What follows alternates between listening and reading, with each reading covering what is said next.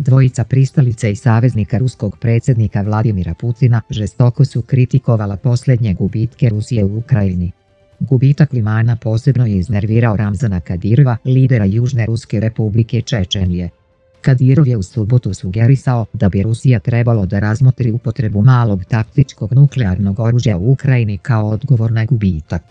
Nepotizam u vojsci neće dovesti ni do čega dobrog, rekao je Kadirov i dodao da komandantu ruskih snaga u toj oblasti treba oduzeti odlikovanja i poslati ga na liniju fronta sa oružjem da krvju speru sramotu.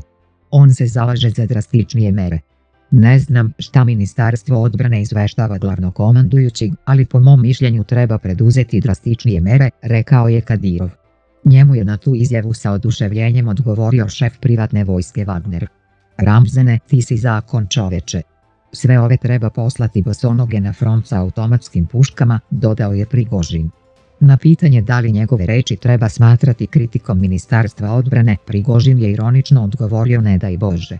Ove izjave nisu kritika, već samo izraz ljubavi i podrške, rekao je Prigožin.